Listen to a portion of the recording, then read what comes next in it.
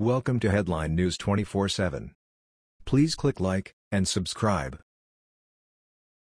Internet erupts over former president's hateful hidden message to Trump in this pic. They all wore it. Four former presidents and our current First Lady were among hundreds who attended former First Lady Barbara Bush's funeral on Saturday. A lot of criticism was aimed at President Donald Trump for not being there, despite the fact that most current presidents don't attend the funerals for former First Ladies.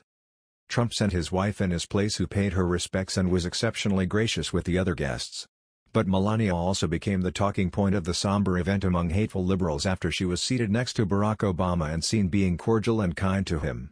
Accusations that she was happier around him than she's ever been with her own husband were some cheap shots that leftists took at Trump. Nothing, not even a funeral, is off-limits to liberals who seek every chance they can get to discredit the president.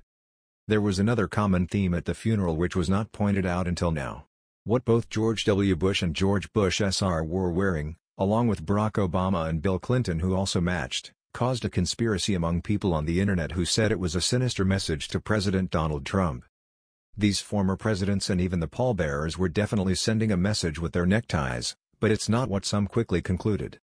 Many men in attendance wore blue ties, including the former presidents who posed with former First Ladies and our current First Lady. The group picture showing this attire that's in specific question is the shot that's now become infamous.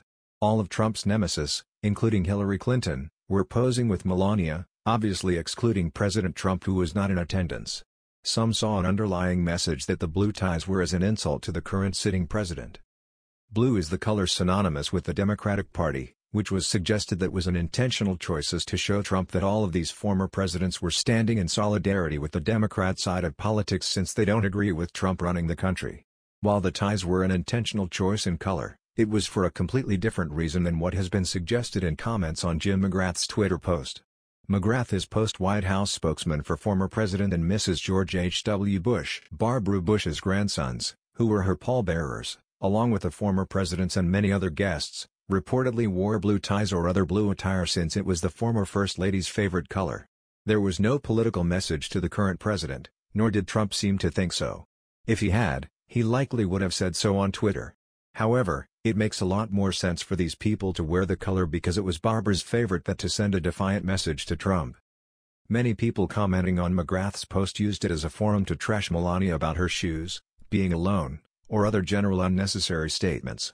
Perhaps this was an expression of disappointment that the blue ties didn't send the hateful message to Trump that they had hoped. That was the news. We thought you might be interested in knowing about this. Please click like and subscribe. Thank you.